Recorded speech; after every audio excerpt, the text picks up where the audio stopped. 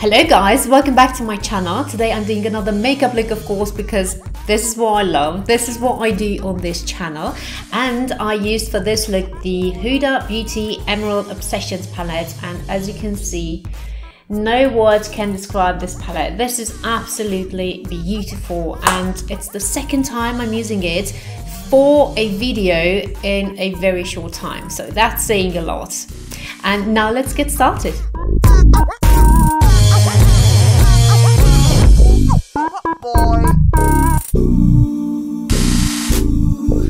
First of all, I want to say sorry for the voice, guys. I have had the flu for the past week and cough and sniffles and all the symptoms, and my nose is still congested, and that's why I'm sounding a bit off today. But anyway, moving on to the makeup, I'm using first an eyeshadow primer, which is from Lorac. Behind the scenes is called, and then I'm going to set this with an eyeshadow which is matte and it's like a bone, um, bone colored eyeshadow. The brush I'm using to apply this this is the 234 Luxe Smoky Shader from Zoeva. And then I'm taking the start of the show. As I've said, this is a palette from Huda Beauty. And if you haven't heard of her, she's a very big YouTuber. She has her entire makeup line, makeup company now. And um, this is one of her palettes. Really good. And I also love the greens from it. That's why I think I love it so much because green is my favorite color and especially the mint one on. So first I took the dark matte brown from the palette and I am applying it like patting it into my skin and I'm not blending it really hard, just the inner half of the lid more than the outer half. I'm going to blend that in a second but not really like making it disappear the line. I'm just going to blur that out. The brush I'm using is another one from Zoeva. It's actually for the lips, you know, like a lip buffer, but I'm using it for the eyes. It's a really good small detailing brush. And as I've said, I'm going to blur out the edges of that eyeshadow with the mint green one from the palette, which is another matte one. And I took for this a small blending brush, which is from Sigma, an E36. I love this so much. And I'm going over that um, brown edge with the mint green a few times because I don't want to slap that color over the edge and be done. I want to gradually kind of blur out that edge but not too much so that the brown disappears as I've said in the beginning. Now on the remaining lid space I'm applying a very shimmery, very very intense dark egg color. This is what it is for me like a greenish kind of yellowish color very pretty i'm doing like a rounded outer edge of it as you can see. This eyeshadow is so consistent and opaque you don't have to cut your crease before using it. You can do it with it you know. And that's kind of cool. I do like the intensity of it. Oh my god i'm sounding like an old grandma even for my ears. I mean uh i i just don't have another voice right now. I'm sorry for this. I've said it but I'm saying it again. For lashes, I'm taking those ones. They are really dramatic and um, they are like a no-name brand. At least I don't know the name of it and it doesn't say on the packaging. Anyway, I've bought quite a few of them on Amazon and I'm putting them on right now. And then I'm going to move on to the base as I normally do. I will do now my whole base, you know, foundation and everything. And then I'm going to come back to the eyes and finish the lower lash line. After putting on moisturizer and face primer which I've showed you. I'm going to use then from Becca the Ever Matte Shine Proof foundation which is in the shade nude.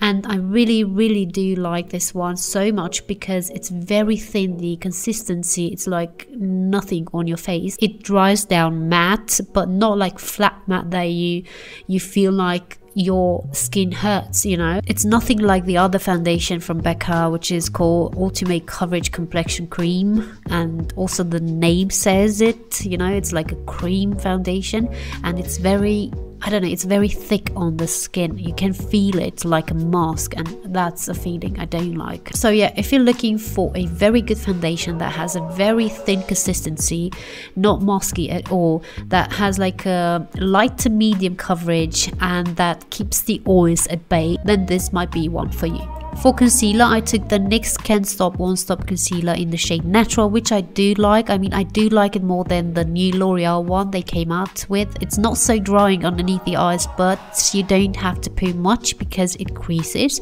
And um, then I'm going to put another concealer, which is from L'Oreal, the Perfect Match one. And this is very light in color, as you can see, but I'm just placing it in a few areas just to highlight them. The areas where you put your lighter shades are going to be brought forward and the areas where you put the darker shades like bronzing powders and creams are going to appear sunken in. So this is the way you can play with optical illusion but I'm going to explain a bit more when I'm applying my bronzer. Now I'm going to powder down my base. I'm using for this the pressed powder from Maybelline the Fit Me powder in the shade 220 and first of all I'm using it on my T-zone and the rest I have on brush on the rest of my face. Now it's bronzer time and as I've said you can play with the shape of your face. Not really you know but you can give like an optical illusion. You can play with that. And uh, what I mean to do when I'm applying my bronzer I'm, I want to make my face look a bit longer because my head my face is not so big. It's actually really small.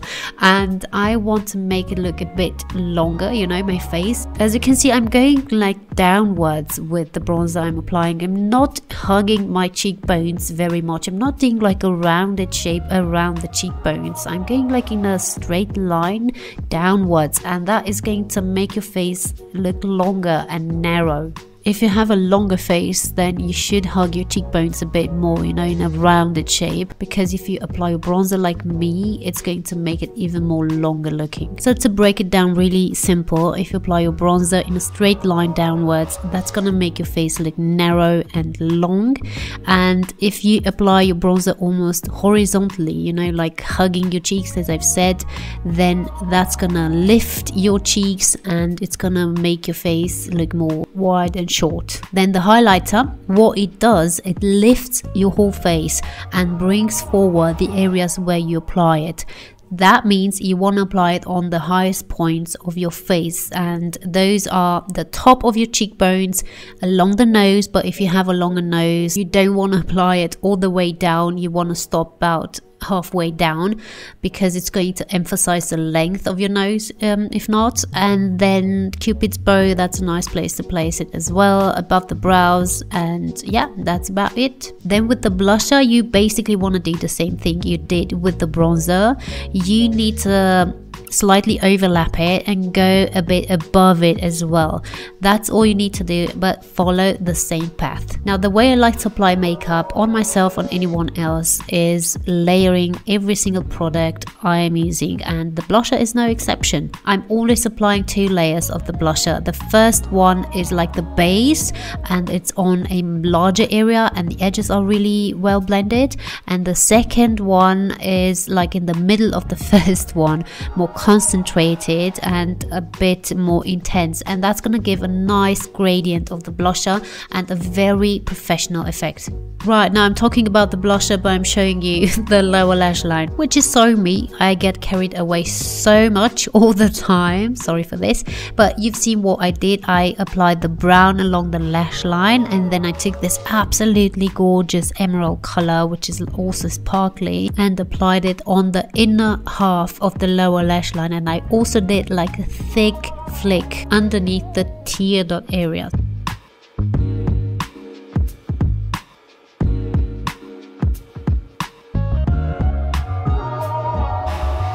In the inner rims of my eyes, I'm using as always Black Track from MAC. This is an eyeliner gel and um, I love this one because it's not going to go anywhere. It's not going to make you look like a panda after two hours.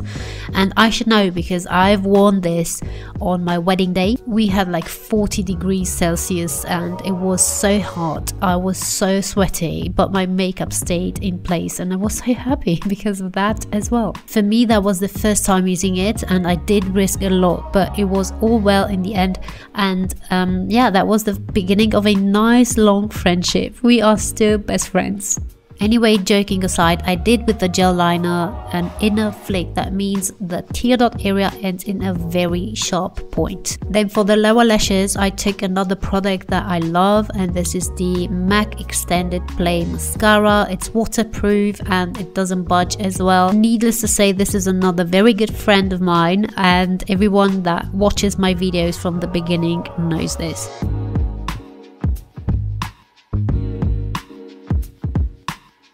To do my brows, I'm going to use precisely my brow pencil. This is from Benefit. I do like this product very much. I have other colors for clients but this is my shade the number five. And it's a bit darker than my brow but I do like a stronger darker brow and that's fine. And if you use it like sparingly with a light hand you can achieve like a gradient you know? You can apply it darker where you need it you know at the base and slightly lighter as you go upwards then for lip line, I'm going to use my favorite one from the entire world, and it's no less from Essence. Yes, you've heard me right. This is the shade Lovely Frappuccino, and I just I love the shade. I love how it glides on my lips. I love that's water resistant. I love how it's compatible with so many skin tones, and I also love the price point of it. Then goes the lipstick from L'Oreal on top, and this is the look. So guys, I really do hope you liked the video as always and if you did, give a thumbs up, subscribe here to my channel and follow me on my social. Instagram, Facebook and Vero are my pages and that's important to me because I want to grow and you can help me do that. I've said this a million times. I hope you understand and um, I hope I'm gonna see you next time as well. So stay safe. Mwah.